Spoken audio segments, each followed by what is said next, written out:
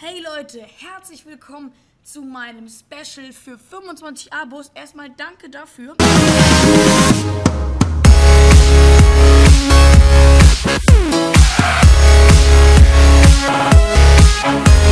Ähm, ich werde heute mal ein Spiel vorstellen. Also, ähm, wir werden das mal testen. Und dazu habe ich mir Hilfe geholt, nämlich mein Freund Malte. Ja, hallo. Ähm, du wolltest jetzt erstmal ins Spiel reinkommen, oder? Ja. Gut, dann Ähm, um das- kurz zu erwähnen, wir spielen auf dem Server. Ranjavelis Chain, das ist der deutsche Genau, RP-Server. Der hier. Habe ich auch einen Charakter drauf. Ähm, können wir das mal auswählen. So, anmelden mit dem gewählten Server. Laden, laden, laden.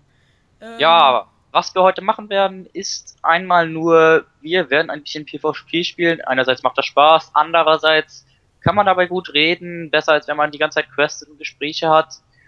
Und Genau. wir werden euch ein bisschen über das Spiel erzählen Genau. und dann auch darüber, dass wir zusammen ein Let's Play Together starten werden. Aber darüber mehr. werden so, wir dann- gleich erfahren. Genau so.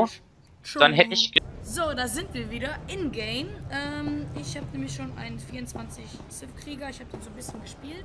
Ja, der ähm, Juggernaut. Wir werden auch später ein neues Let's Play damit schon machen. Und jetzt hat Dazu direkt erstmal was zu dem Let's Play. Ja, ich muss jetzt diesmal leider mit Ach so, meinem ja, Hexer spielen. Oh, danke sehr. Wir Ja. werden ähm, das Let's Play Together sehr wahrscheinlich machen. Ähm, gucken, wie es bei euch ankommt. Äh, ihr habt jetzt die Zeit, euch in den Kommentaren eure, eure Wünsche zu schreiben, ob ich es machen soll oder nicht, oder noch mit jemand anders noch, oder den, den, ihr kennt und Jo. Ja, und was ich mir jetzt noch überlegt hatte, muss ich gucken, ob du das jetzt auch gut findest, ist, dass ihr. Ich werde ja jetzt erstmal in diesen paar PvP-Runden, die wir jetzt einfach machen, ähm, nochmal ein bisschen über die verschiedenen Klassen und Fähigkeiten informieren, weil ich mich da ehrlich gesagt besser auskenne als der kleine Gero hier. kleine Gero, ja genau. die Nutzlose hier. Ähm, und dann hätte ich gesagt, dass ihr einfach mal in die Kommentare schreibt, was der denn für eine Klasse machen soll, ähm, was für eine Erweiterung er dann nehmen soll. Also es gibt eben dann immer zwei Klassenerweiterungen, worauf er skillen soll und so weiter und so fort. Aber erstmal vor allem, welche Klasse. Ich werde dann wahrscheinlich eine nehmen, die auf demselben Planeten startet, obwohl ich meine Favoriten schon habe. Gut, dann hätte ich gesagt, ähm, Gero, stoppst noch einmal die Aufnahme und wir sehen uns dann kurz vor der PvP-Runde wieder. Bis dann. Jo Leute, Ähm. herzlich willkommen zu der ersten PvP-Runde, wo wir jetzt halt so ein bisschen quatschen. Ähm, das hier Ich ist die sagen- schlechteste Version, die wir kennen, die wir Ja, mögen. zumindest sind wir in dieser Version einfach nur scheiße. Und wir ja. haben gerade ein Level 17 soll eine Mörderin. Wir sind ziemlich unterlevelt, sagen wir einfach. Ähm, Hexerin. ich hätte gesagt, dass wir jetzt einfach so spielen gut. und quatschen. Ähm, als erstes hätte ich gesagt, reden wir mal ein bisschen über das PvP allgemein, weil wir gerade am PvP sind. Ähm, Ja. PvP machen kann man ab Stufe 10, sobald man seinen Planeten verlassen hat. Ich würde es euch nicht empfehlen. Es macht zwar sehr viel Spaß, aber als Stufe 10er hat man einfach den Nachteil, dass man noch nicht so viele Fähigkeiten hat. Deswegen bin ich auch ein bisschen unglücklich. Weil ich eigentlich mein Level, ähm, 30er Agent nehmen würde. Das geht jetzt hier nun mal leider nicht. Naja, also, PvP ist eigentlich ganz einfach. Man listet sich, hat eine begrenzte Anzahl pro Spiel, ähm, pro Und Woche. es geht, geht erst ab Stufe 10. Also das heißt, Ja, ähm, das hatte ich schon gesagt. Es sei denn, man ist eben Abonnent. Wenn man Abonnent ist, geht das auch schon eher. Sonst ist es ein bisschen doof. Ja, los, greif sie an, Gero. Ja, okay. Ich weiß, wir werden das jetzt sowieso verlieren, aber das wird uns jetzt einfach mal nicht, weil wir krasse Leute sind. Ich bin riskant, ich auch zum Spaß gehen. Immer noch nicht interessiert. Äh, ja, kann ich mal. Ja, das läuft dann nicht so hier. Waren aber auch drei Leute, die auf mir waren. Ja, also ich bin direkt erstmal tot. Ich hasse und wie gesagt. Ja, das ist, geht so, ähm, es geht über drei Runden. Wenn man einmal gestorben ist, dann wird man nicht wieder belebt, so, also in, so, so nicht so wie in Minecraft oder so. Das so Wer ist ein guter Faulwurmkiller? Dieser Frosch und da! Ja, und So, wir sind in dieser PvP-Art eben extremst schlecht. Ist leider so. Kann man nichts dagegen sagen. Ähm, Ja, PvP, man hat eben äh, ist ein bestimmte Menge an, äh, nur an PvP, die man die Woche machen kann, es sei denn, man ist Abonnent. Dafür muss man aber leider bezahlen.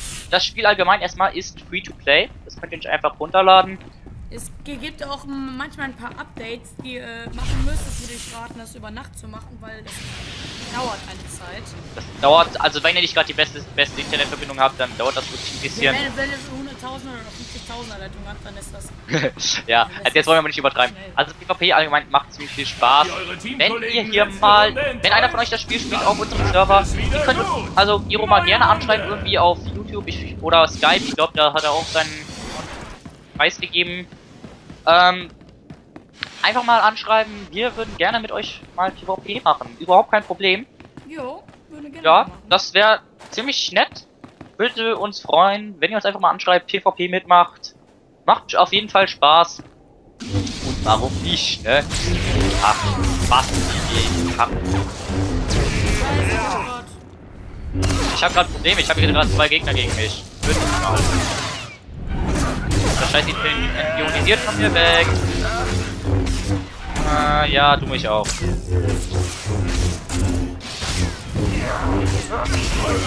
Geh weg. Ich hatte gerade ein Problem, weil ich habe gerade Ja, da bin ich schon. Ja, das passiert manchmal. Also ich würde es euch empfehlen. Echt, es ähm, gibt so eine kleine Quickstart-Leiste sperren. Hier, Würde ich. das habe ich vergessen zuzumachen. Ich glaube, was wir gerade machen, ist ziemlich scheiße, dass wir einfach die ganze Zeit wild umherreden. Wir haben keine Struktur. Dieser Naja, was soll's, wir stellen jetzt eben diesmal eben einfach nur. Papier vor, dem extremst schlecht. Scheiße. Ja, jetzt haben wir verloren schon. Super. Äh, ich bewerte dich erstmal als. Denk dran, muss nach Rayus suchen, ne? Naja, richtig. Bestimmt sehr wertvoll für mich. Ja, Girarda dankt euch für eure Quatsch. Brutalität. Bis Busch- gleich, ne? Ja halt, stopp. Ähm, das war jetzt mich kurz. So, hallo und herzlich willkommen zu der nächsten Runde des PvPs. Äh, Diesmal ist es Thrash Huttenball. Das ist so ähnlich wie Fußball, nur mit Händen. Naja, und mit Zerschmettern und Töten und also alles, was ein Ziff mag. So, diesmal informiere ich euch ein bisschen über die Klassen. Ich werde jetzt nur die dunkle Seite erzählen, weil die helle Seite ist erstens scheiße. Nein, Scherz. ja, Ähm, nee, das die kann man sich Seite- halt aussuchen. ja, kann man sich aussuchen. Aber die helle Seite hat dann i- im hat dann eigentlich genau dasselbe wie ähm, die dunkle Seite, nur eben mit anderen Namen. So. Die Namen sind nämlich viel schlechter. Äh, ich hätte gesagt, ich informiere mich erstmal über die Klasse, die Gero gerade spielt. Der Gero spielt gerade ein Sith, äh, ein Sith Krieger. Der Krieger ist jemand, der nur Nahkampf geht. Ja, also er kann wirklich nur Nahkampf. Er bleibt direkt das Bio, noch einer Pfeiler. Ja, er hat jetzt ein Laserschwert. Er hat dann die Möglichkeiten der Erweiterung. Was will, wollen die alle hier von mir? Nein, nein, geh mal schön weg. Ähm, er hat dann die. Du gehst nach unten, Junge. Ich bin Heiler. Ich bleib hier oben. Was bist du denn?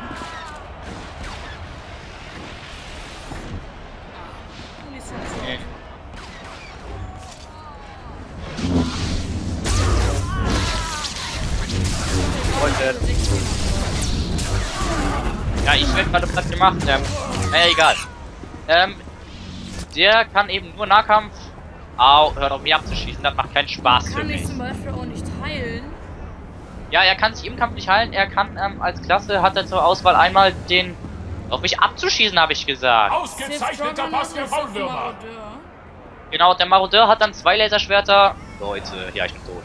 Ähm, und hat die Möglichkeit, einerseits ganz glorreich als Tank, also als Verteidiger mit vielen Leben und wenig Tod. Ähm. Ähm.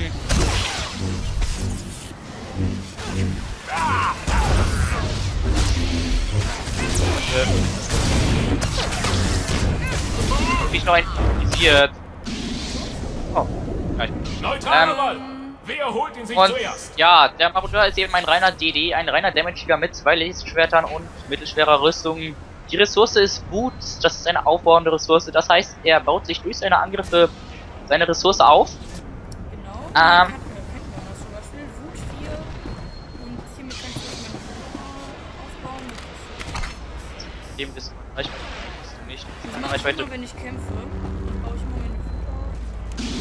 Habe ich meine Ähm, ja, was gibt's ansonsten noch zu sagen? Marian, nein, äh, Spasti, lass Ah, ich bin klein, ich bin klein. Verdammt. Ähm, ja, ich bin diese Runde. Mehr. Die feiner Nahkämpfer, der, so, der Juggernaut ist einmal Tank oder auch DD, der hat schwere Rüstung und ein Laserschwert und einen die soweit ich weiß. Die Faulwürmer sind jetzt sicher auf Ähm, Rache aus. Ja, die Story kann ich euch nicht so viel zu erzählen. Ich hasse den Juggernaut, also den Hexer nämlich. Ja, du Spasti, dafür stirbst du. Ein Faulwurm schnappt sich den Ball. Es ist so, als wäre es irgendwie so ein Fußballspiel. Oh Junge, willst du mich verarschen? Ich fertig das Spiel hier.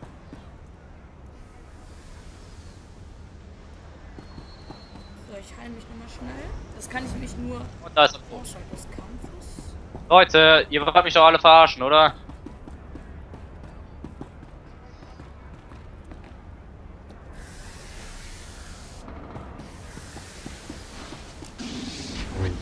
Ja, verdammt scheiße. So, wo war ich? Ja, das war's eigentlich. Krieger, der ist eben Reinhard Idee. Dann kommen wir zum Hexer. Das ist das, was ich gerade spiele. Hexer, ähm, können einerseits als Fernkämpfer kommen, ankommen, können aber genauso gut auch. So, du stirbst jetzt erstmal. Können dann aber genauso gut eben auch ähm, Heiler werden. Ich bin jetzt als Heiler spezialisierter. Ball ab. Zeit. Werden die Froschhunde sich dafür rächen? Ja, werden sie. So, und ähm. Muss mal sterben gehen. Aber das macht er nicht. So ein Spasti. So, Barriere ist da. Sehr gut. Ähm. Ja, du kannst mich mal, genau, gekappen. So, tschüss. Ähm, ja, der Hexer hat, also der Inquisitor, die allgemeine Klasse, einerseits die Möglichkeit. Ich brenne, ich brenne, ich brenne, hilf mir. Egal. Ähm, andererseits hat er aber auch die Möglichkeit, Attentäter zu werden. Der Attentäter benutzt die Ressource Macht. Davon hat er 100 Stück. Der Hexer dagegen hat bis zu 600. Attentäter sind Nahkämpfer, die auch in der Lage sind, sich sichtbar zu machen. Was natürlich im Kampf ein großer Vorteil ist. So, genau, wir kappen. Ja, geht. Ich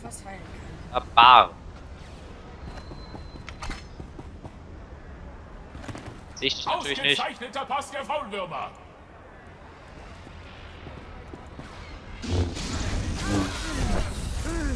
Die Faulwürmer Team. Neutraler Ball. Da heilen gehen. Fuck. Ähm.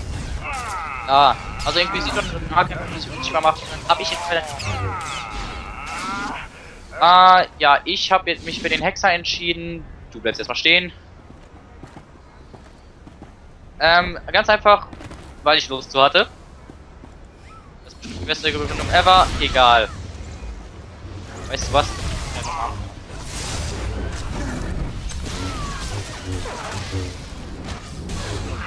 Und ja, was gibt's sonst noch zu sagen?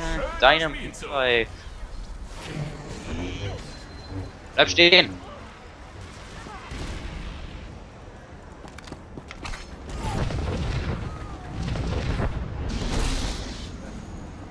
Lass mich in Ruhe. Äh. Au. Es ist voll schwer hier die ganze Zeit irgendwie let's, zu, zu Let's Playen und ähm, gleichzeitig sinnvoll zu reden. Also Respekt an, an meine Respektklassengehörung. Das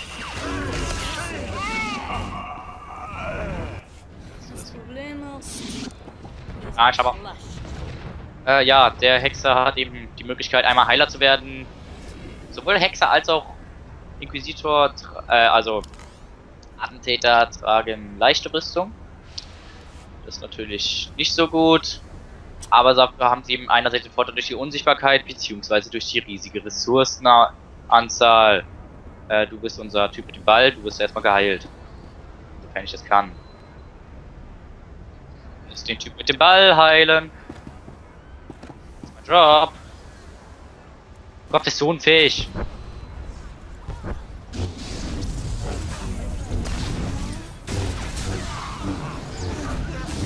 Ja.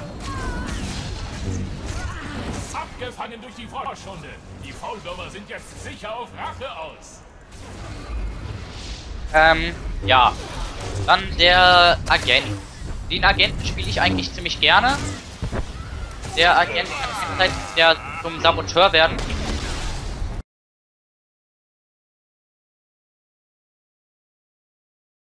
Entschuldigung Leute, wegen der Unterbrechung. Es gab da ein paar Probleme mit meinem Spiel. Das ist nämlich gecrashed. Das Ähm, passiert ab hier. Ja, das passiert auch nur mir. Ähm, ja, äh, wir wollten halt noch so ein bisschen erzählen, noch über den Kopfgeldjäger und noch über den Gefährten. Da haben wir Ja. mehrere Sachen für. Ich glaube, ich kann auch mal ein bisschen zum Gefährten erzählen. Der Gefährte kann man ähm, auf verschiedenen Stufen bekommen. Zum Beispiel habe ich jetzt Ja, Stufe 10 eigentlich jetzt. ja. Ähm, Also den ersten fette, ja, kriegt man mit 10. die, das Menü kann man zum Beispiel auch hier haben. Hier hat man die Auswahl zwischen verschiedenen. Hier ist zum Beispiel ein Heiler, noch ein Heiler und halt hier äh, Nahka äh, Fernkampf. Ähm, man kann man kann sie auch verschieden ausrüsten, das heißt, man kann sie auch Rüstung geben. Äh, allerdings ist es keine Rüstung, die man selbst anziehen kann. Manchmal ist es so, aber ähm, hier sieht man halt einen Wert von 50 und 42 im Schnitt. Da kann man sich dafür äh, noch was kaufen. Zum Beispiel habe ich ihr jetzt hier zum Beispiel das hier gekauft. Weil halt ein Wert von 16, das alte war, hat nicht so viel Schaden gemacht gegen die neueren Gegner.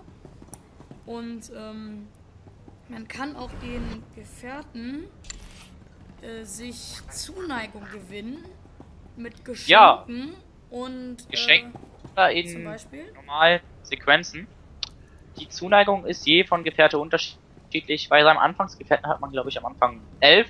Wenn der dann mehr Zeit Zuneigung kriegt, 17, dann 19 und bei meinem Agenten bin ich jetzt inzwischen bei 20 Zuneigung. Oh, richtige Antwort, also dem Gefährten gefällt.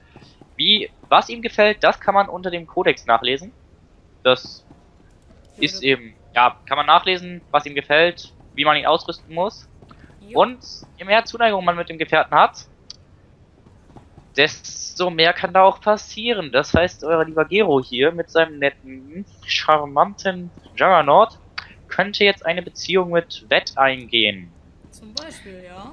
Ja, Das habe Das ich schon ein bisschen eingegangen. Hier sieht man zum Beispiel 3151 Zuneigung von 10.000. Ähm, ich habe jetzt bei meiner einen Gefährtin 8600, äh, 8600 ungefähr. Das ist sehr viel. Weiß. Ähm, und er wird die dann später auch die Möglichkeit haben, sie zu heiraten, mit Kinder zu kriegen. Gut, das wird nicht gezeigt, aber das will sie unbedingt. Ähm, das freut ihn natürlich. ähm, freut ihn natürlich, unser Naja, kleinen Playboy hier. Äh, ähm, er wird auch noch eine andere Gefährtin dazu bekommen, zum Beispiel die Jason Wilson, zum Beispiel ein für einen Sith sehr unglaublich coolen ähm, Gefährten. Aber der Gero ist ja kein gewöhnlicher Sith, da wollte ich auch noch was zu sagen. Der ist ein Lightside-Sith. Man kann nämlich bei Gesprächen die Ausrichtung bestimmen, ob man Hellseite spielt oder dunkle Seite spielt. Das könnt ihr dann natürlich auch noch bestimmen, wenn ihr bestimmt, was für ein Charakter er ist, männlich, weiblich, sonstiges. Ähm, Sonstiges. ja, sonstiges bestimmt, aber dafür braucht man sich nicht groß anstrengen. Äh, Bei mir sieht man zum Beispiel, ich habe zwei äh, Hell 2850 und Dunkel 500, weil ein paar Leute haben mir nicht gefallen, die musste ich einfach umbringen. Ja, ja, ja, ist klar. Also ich habe bisher, also mit dem Level 17er hier habe ich jetzt gerade 1382 dunkle Seitepunkte und 0 helle Seitepunkte. Bei meinem Agenten sieht das natürlich alles wieder ganz anders aus, aber den zeige ich euch dann mal, wenn wir mal PvP machen in dem Mid-Level-Gebiet. Dafür müsste der Sagerbold hier noch ein paar Level aufsteigen. ja, genau, So, was wollte ich noch sagen? Ja, wir wollten noch was zum Kopfgeldjäger sagen. Jo, Ähm, den Kopfgeldjäger, den habe ich jetzt noch gar nicht wirklich gespielt. Tja, der kann. Ja, den haben wir beide nicht gespielt. Ich weiß, dass er die Ressource Hitze verwendet. Das ist eine ganz spezielle Ressource. Dann muss er unbedingt in die Wüste gehen. Ja, auf keinen Fall.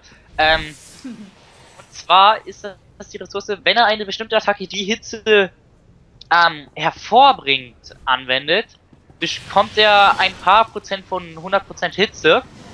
Und sobald diese 100% erreicht sind, muss er sich erstmal abkühlen, weil er sonst viel zu heiß ist. Oh, was für ein Wortspiel. Ähm, ja. Der äh, Kopfgeldjäger, ich weiß gar nicht, was der für Rüstung trägt. Ich glaube, es ist auch mittelschwere, bin mir nicht ganz sicher. Auf jeden Fall kann der dann im späteren Verlauf einmal jemand mit zwei Pistolen werden. Dieser jemand kann dann auch Heiler werden, so viel weiß ich schon, weil ich durch solche Heiler schon überlebt habe. Danke nochmal. Ähm, dann kann er auch einen mit einer Pistole nur werden. Der setzt dann viel auf Technik-Sachen. Kann, glaube ich, auch ein Tank werden. Ist eigentlich eine ziemlich coole Sache, aber ich kann mit dem Kopfgeldjäger und mit dem Krieger, den der Gero ja vergöttert, Mhm. überhaupt nicht umgehen. Ja, ich. Ja. Super. Ja, der Gero ist verliebt in den Krieger. ja, da brauchst du gar nicht erst leugnen. Das ist ähm, bewiesen. Ja, das ist, das ist wissenschaftlich. Das ist wissenschaftlich bewiesen. Da haben wir eine, ähm, ja, wie heißt es jetzt, Analyse von machen lassen. Gero ist eigentlich verliebt Krieger. Also, wenn ihr ihm gefallen wollt, erlaubt ihm noch einen Krieger zu spielen, aber mal ganz unter uns, tut's nicht. Weil er hat jetzt schon einen Krieger, er soll mal was anderes kennenlernen. Meinetwegen kann er auch von der hellen Seite nehmen. Da ist dann der Jedi-Ritter dasselbe wie der Sith-Krieger, der Jedi-Gelehrte dasselbe wie der Inquisitor, kabum. Ähm, der Schmuggler dasselbe wie der Agent und der republikanische Soldat dasselbe wie der Kopfgeldjäger. Nur sind sie ihm auf der hellen Seite und deswegen scheiße. Nein, Richtig. ähm, nein. also wir sind natürlich auf keinen Fall ähm, hier irgendwie abweisend gegenüber irgendwelchen äh, Seiteleuten, abgesehen davon, dass sie irgendwelchen Regeln unterliegen und das mag man ja nicht. Aber egal, ihr entscheidet, ob er helle Seite Ausrichtung nimmt, ob er dunkle Seite Ausrichtung nimmt, ob er überhaupt über welche Seite nimmt er, soll er männlich, weiblich, sonstiges sein, Weil so, sonstiges. mit welchen Gefährten, ja, sonstiges auf jeden Fall, äh, mit welchen Gefährten soll er eine Romanz eingehen, soll er die macht er oder eher das Let's Play mit mir zusammen? Ihr könnt sogar Wünsche schreiben, welche Klasse ich nehmen soll. Ich werde mal gucken, was Wir dann da für Kommentare stehen. Es wird sehr wahrscheinlich Kopfgeldjäger oder ähm, Agent nehmen. Ja, also ich werde dann, dann ich wir höchstwahrscheinlich. auf dem gleichen Planeten. Ja, also wenn der jetzt zum Beispiel ein Krieger, wie er wird, hoffentlich nicht, Mhm. ähm, oder der Gero jetzt ein Inquisitor wird, dann werde ich auch einen Inquisitor nehmen, einfach weil den Krieger und den Kopfgeldjäger kann ich nicht leiden und mit Inquisitor und Agenten, mit denen kann ich gut spielen, also wäre für mich dann schon besser. ah. sonst Sonst bestimmt ihr alles und ja, ich muss jetzt auch leider erstmal aufhören. Man, ich bin sehr gespannt, was ihr in die Kommentare schreibt. Der Gero wird das Video hochladen. Ähm, wann? Also wir werden einmal die Woche so ein Video rausbringen. Wie lange warten wir jetzt mit dem User Voting, was wir nehmen sollen, Gero? Ungefähr eine Woche? Ja, gut, also gucken wir dann nächste Woche Montag mal, was ihr für Kommentare geschrieben habt. Guckt es euch an, das Video, teilt es meinetwegen auch. Nein, wir wollen hier natürlich jetzt nicht ähm, battlen. Wenn ihr es euch angucken wollt, macht's gerne. Wenn ihr das Spiel auch spielt, meldet euch. Wir spielen gerne mal mit euch eine Runde PvP oder sonstiges. Oder gegeneinander einfach mal so als Duell. Ja, das machst du jetzt nicht gegen mich, das ist viel zu hoch für mich. Das kannst du machen, wenn ich noch einen Agenten habe. Dann zeige ich dir mal, wo der Hammer hängt. Ja, ist logisch. Ähm, wir können auch Special-Videos machen, zum Beispiel mal eine Flashpoint zeigen. Sonst eben Planetenstory und sowas auf jeden Fall gezeigt wird. Natürlich. Einmal die Woche wird es rauskommen. Ich glaube, Donnerstag wollten wir aufnehmen, ne? ja, Donnerstag oder so. Ja, Donnerstag oder Montag, je nachdem, wie gut das hier ankommt. Vielleicht auch zweimal die Woche. Ja, müssen wir auch mal mit der Zeit gucken. Ja, müssen wir gucken. Also, wie gesagt, schaut euch das Video an. Bitte, bitte, bitte. Äh, nein, also schaut es euch an, wenn ihr wollt. Äh, wenn nicht, dann echt, macht immer noch genug Minecraft, also nicht traurig sein. Ja, natürlich, ich mache natürlich Ja. noch meine, also Minecraft, Ja. natürlich Minecraft. genau. M- äh, Die anderen Projekte gehen weiter. und Electrocraft zum Beispiel. Geht alles weiter. Geht alles weiter. Wird sich nichts ändern. Und natürlich Ja. halt noch die MC-Minigames, die werde ich noch. Klar, das muss ja sein. Das gehört ja dazu zu Minecraft. Sonst hätte ich gesagt, ähm, beenden wir dieses Special jetzt mal. Ich weiß nicht, wie lange Und geht. dann sehen wir uns zum nächsten Mal oder einem ganz normalen Video. Und dann Spaß. So, bis dann.